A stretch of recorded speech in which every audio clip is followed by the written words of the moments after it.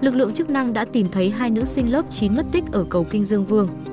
Trao đổi với tuổi trẻ online chiều 14 tháng 5, một lãnh đạo công an huyện Tiên Du, tỉnh Bắc Ninh xác nhận lực lượng chức năng đã tìm thấy hai nữ sinh lớp 9 mất tích ở cầu Kinh Dương Vương vào hồi 13 giờ 30 phút cùng ngày. Lực lượng chức năng sẽ hoàn tất thủ tục bàn giao thi thể các em về với gia đình. Trước đó, vào khoảng 22 giờ ngày 13 tháng 5, nhiều người dân phát hiện hai nữ sinh bỏ lại dép và xe đạp điện trên cầu Kinh Dương Vương rồi biến mất. Hai em là bạn học cùng trường ở xã Liên Bão, huyện Tiên Du, tỉnh Bắc Ninh. Trong đêm 13 và sáng 14 tháng 5, lực lượng chức năng đã huy động nhiều thuyền, phương tiện đường thủy tìm kiếm hai nữ sinh trên. Một nguồn tin của tuổi trẻ online cho biết những thông tin trên mạng về việc hai nữ sinh mất tích do nhà trường tạo áp lực, cấm đoán các em thi vào lớp 10 là chưa chính xác.